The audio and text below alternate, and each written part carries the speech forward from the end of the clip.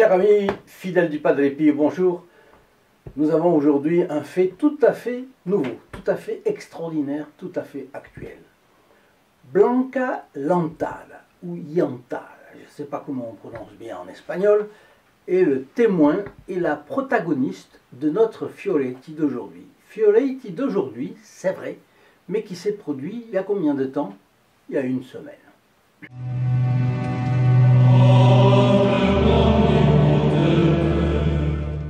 Vous avez certainement vu à la télévision ou sur les réseaux sociaux les images, les effets de la tempête d'Anna en Espagne, et plus précisément dans la région de Valencia, Valence. L'eau qui s'est précipitée euh, en une heure et demie euh, sur certains endroits euh, a été plus ou moins l'équivalent de tout ce qui tombe comme eau à Paris dans une année. C'est-à-dire qu'on a compté 460 litres d'eau par mètre carré. C'est absolument euh, phénoménal. Donc les gens ont été surpris. En très peu de temps, les eaux sont montées. Euh, et euh, gens coincés, coincés dans leur voiture, emportés. Ça a été affreux. Et les rues se sont transformées en torrents de boue. Vous imaginez en torrent de boue. Les voitures ont été emportées comme des fétus de paille, on peut dire comme ça. Et bref, le chaos s'est instauré absolument immédiatement, avec son lot de malheurs, euh, évidemment, pour les habitants. On parle des inondations du siècle. Mais concrètement, en Espagne, parce que dans le au Brésil, vous savez que dans le Brésil, il y a un mois ou deux, dans le sud du Brésil, il y a eu des inondations qui ont quasiment détruit une ville, la capitale d'une province. Mais euh, là, ce sont concrètement beaucoup de souffrances. 44 000 voitures ont été détruites et 21 000, 21 000 maisons. Alors les images du courant déferlant sur la ville, sur les quartiers de ces villes ou ces villes, n'ont laissé aucun doute sur la force des éléments. Alors je commence par vous donner les faits. Euh, ça c'était la situation, mais les faits. Eh bien l'église Saint-Antoine de Padoue, de Catarroja, se trouve plus ou moins dans le centre de la tempête. Cette tempête qu'ils ont appelée, qu'on a appelée Dana. Et c'est un des endroits les plus touchés par la tempête et les inondations et Blanca Yantada est la sœur du curé de Saint-Antoine de Padoue, la paroisse en question. Elle nous raconte ce qui est arrivé dans une vidéo dont je vais essayer de vous passer des photographies ou des extraits dans la mienne. En réalité, l'énorme quantité d'eau ici à euh, Catarroja a détruit tout, tout à les voitures, à emporter les ponts, tout ce que vous voulez, tout ce qu'elle trouvait sur son chemin. Et partout autour de l'église, et à une hauteur très grosse, la boue, la saleté, euh, les détritus, tout. Eh bien, l'eau, la boue, la saleté ont respecté l'église. Les parois de verre qui séparaient l'église du, plein pied avec le reste, n'ont pas été brisés par la pression de l'eau. Alors tout ailleurs, partout ailleurs, ça a été le cas. La surface interne de l'église a été euh, impeccable, impeccable, propre, comme si rien ne s'était passé. Les salles attenantes, totalement respectées pareil, indemnes. L'eau n'a même pas pénétré. Tout est propre comme avant la tempête. Partout ailleurs où on passe des jets d'eau, euh, c'est comme ça. C'est un mélange d'eau et de boue, de toute façon. Là, c'est comme s'il n'y avait rien eu. Même dans les endroits de la ville qui ont fait l'objet des, secours et qui sont en train d'être aidés par les, les, jeunes qui sont à l'œuvre, etc., etc., eh bien, on ne voit rien de propre nulle part. Et là, euh, rien. Alors, rien comme si une bulle avait couvert l'église. Euh, c'est quand même curieux. Au milieu de tant de destruction, de tant de saleté, de tant de boue, de tant de désastres, l'église est comme une oasis qui n'a pas été touchée. Vous pourrez le voir sur les, photos. Bon. Rien n'est rentré. Quel rapport avec le Padre Pio Parce que c'est là la question, c'est ce que vous allez me demander. Eh bien, il y a seulement 15 jours, la sœur du prêtre, du père Franck Lantade, Blanca Lantade, elle a obtenu une relique formidable du Padre Pio. Dans une espèce de petite ostension, comme ça, sur un pied, comme on fait toujours, eh bien, il y avait du sang du Padre Pio, un peu de son sang, le sang qu'il a versé, n'est-ce pas, comme vous le savez. Euh, euh, dans le clergé, il y, a quelques, reliques comme ça. Je connais même un prêtre dont on m'a dit qu'il avait une relique du Padre Pio comme ça. Bon, eh bien, un jour, Blanca Lantada parle avec son frère et l'autre prêtre de la paroisse, le père Ricardo.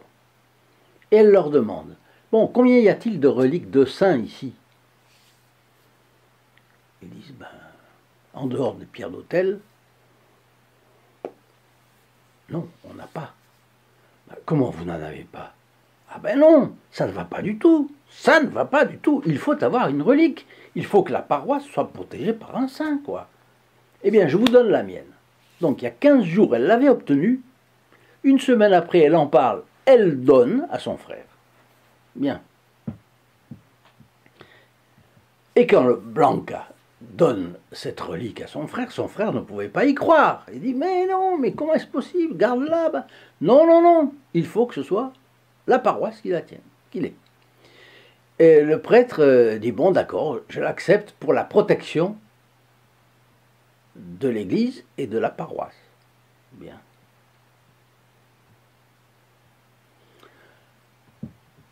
Euh, je suis en train de lire la chose. Euh, alors, elle dit, elle dit c'est étrange. C'est le témoignage de Blanca. Elle dit c'est très étrange ça, parce que nous ne savions pas à quel point il était important d'avoir un protecteur. Là, ça, moi, je suis sidéré d'apprendre qu'elle ne savait pas, que son, son, frère ne le savait pas non plus. Mais enfin, bon, peut-être j'ai mal compris la traduction, je ne sais pas. Mais en tout cas, elle dit ça. Euh, nous ne savions pas à quel point il était important d'avoir un saint patron dans une paroisse, dans une église. Il est vrai qu'elle s'appelait Saint-Antoine de Padoue, cette église. Oui, il y avait un patron, mais il n'y avait pas de, semble qu'il n'y avait pas de relique. Bon. Cette relique est arrivée donc, pour ainsi dire, sous une inspiration de la Sainte Vierge. Blanc Alantade l'a reçue 15 jours avant la tragédie. Elle l'a donnée une semaine après, donc une semaine avant la tragédie.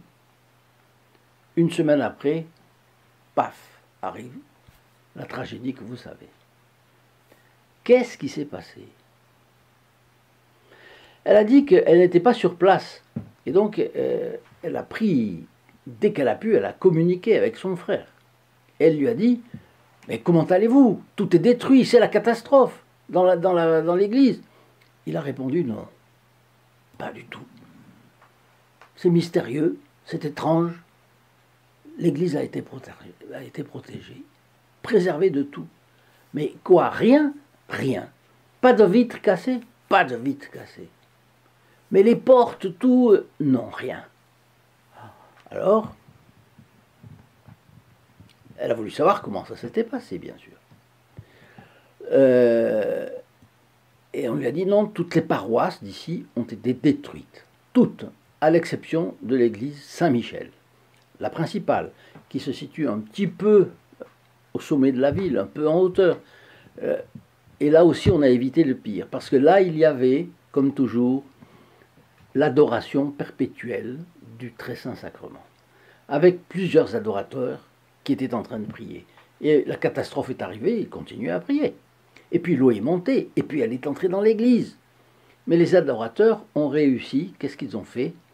Ils ont réussi à sauver le Saint-Sacrement. Ils ont... Euh, bon, l'eau leur arrivait jusqu'à la poitrine. Ils ont réussi à déceler le tabernacle. ils ont décellé le tabernacle et ils ont voulu le transporter à l'étage. Mais la porte en bas était bloquée. À cause de l'eau, à cause de la boue, que sais-je, bloquée. Ils étaient coincés. Bon, alors, euh, il y en a un, un certain José Fabian, Fabian, qui était, qui, qui, qui, qui était un des adorateurs. Il a prié pour que notre Seigneur Jésus-Christ ouvre la porte. Et tout d'un coup, la porte s'est ouverte. Et c'est alors qu'ils ont pu monter à l'étage et sauver le tabernacle qu'ils avaient décelé au préalable. Et ils ont réussi à sauver le Saint-Sacrement et en plus une statue de Saint-Joseph qui avait là. Euh, la Blanca Lantada est, est, sidérée, absolument sidérée, à tel point qu'elle dit que quand elle a vu les photos avec son frère, bon, les deux n'ont pas pu s'empêcher de pleurer. Il faut remarquer que pour eux, la porte était coincée et ne pouvait pas s'ouvrir. Bon, donc il y a eu plusieurs, euh, mais ça c'était pas dans l'église Saint-Antoine de Padoue, c'était dans l'église Saint-Michel. Bien. Et puis, euh, ils ont, les adorateurs sont restés au premier étage toute la nuit avec le Saint-Sacrement et la statue de Saint-Joseph en priant. En priant pour la ville, bien sûr, priant pour les gens qui étaient emportés, etc. Il y avait des gens pour prier pour eux. Et puis enfin, il y a eu l'histoire, c'est comme ça qu'elle elle continue, l'histoire de la paroisse de Bethléem, toujours à Cataroja. La destruction a été totale. Mais il y avait une voiture qui a été emportée. Les parents avaient laissé un moment un bébé pour pas qu'il soit mouillé, etc. La voiture a été emportée, et, enfin a été, complètement écartée, poussée. Dans... Après quatre jours, les pompiers ont trouvé le bébé seul dans la voiture. Vous rendez compte? Quatre jours. Bon, ils ont, réussi à le sauver et à le ramener, le remettre à ses parents. Donc, il y a eu, vous voyez, plusieurs faits, trois, quatre faits qui tiennent du miracle.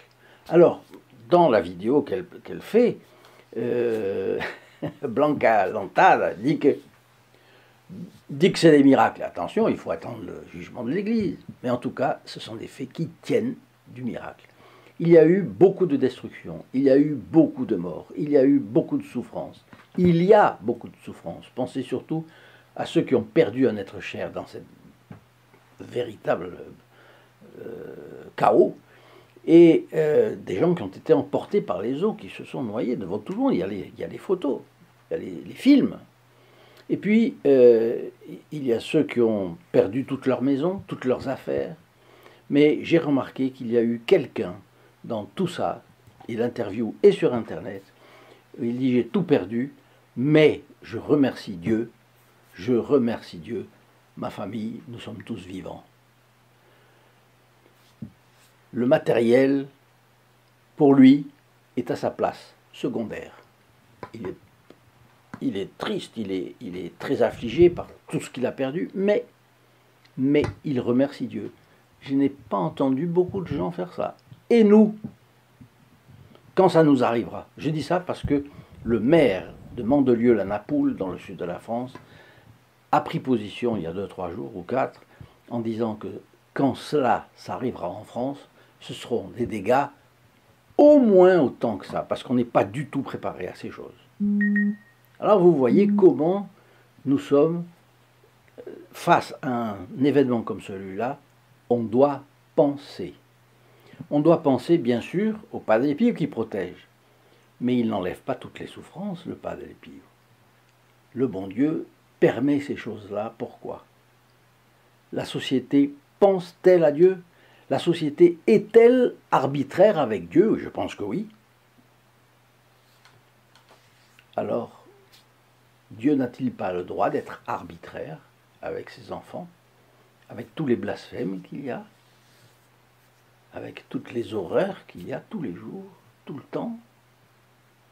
Voilà, nous pouvons bien penser que ces événements d'Espagne, ces inondations, nous amènent beaucoup de réflexions. Sur ces réflexions, je vous dis, n'hésitez pas à propager ces vidéos, les partager, propager les photographies du Padre Pio.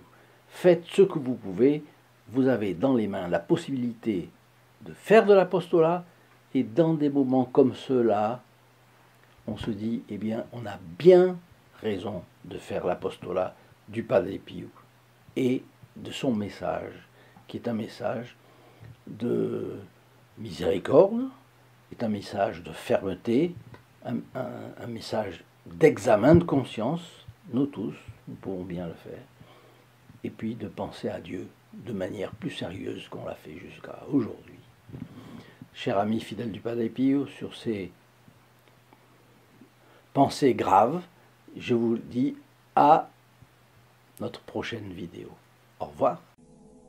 In nome del Padre, del Figliolo e dello Spirito Santo, e così sia. Si lodato Gesù e Maria, e